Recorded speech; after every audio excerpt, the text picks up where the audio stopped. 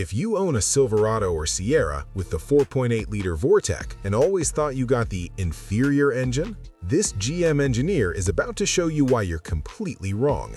For years, 4.8-liter owners heard the same things. You should have paid more and got the 5.3-liter. Your engine is worth less. It's just a weak V8. But the technical truth GM never advertised loud enough is completely different. The 4.8-liter is an LS family engine, the same revolutionary family GM used from 1997 until today. Here's what will surprise you. The 4.8-liter and 5.3-liter share the same engine block, the same pistons, the same valve system, and the same critical durability components. So what's the difference? One thing, the crankshaft stroke. 4.8-liter has 3.26 inches, 5.3-liter has 3.62 inches.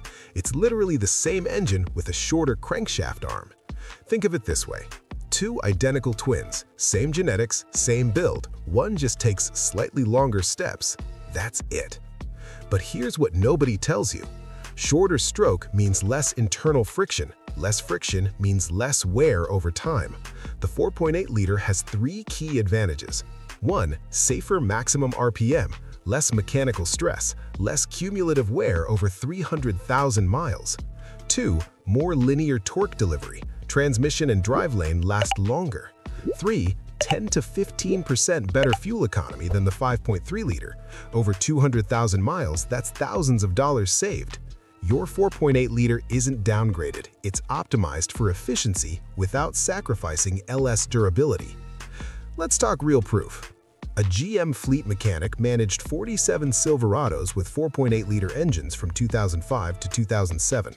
Extreme use, urban deliveries, stop and go, heavy loads. Result after eight years? Average 285,000 miles per truck. Zero engine rebuilds, only regular maintenance. Companies that depend on reliability choose the 4.8-liter, FedEx Ground ran 70% of their fleet with 4.8 liters. Utility companies prefer 4.8 liter in service vans.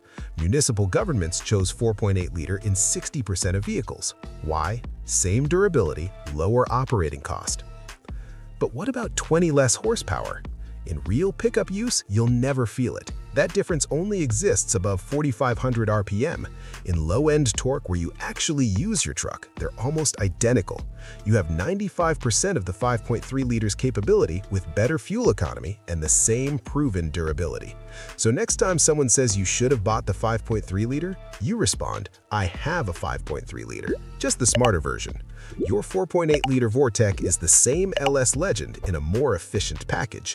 You chose right. Drop your 4.8 liter mileage in comments.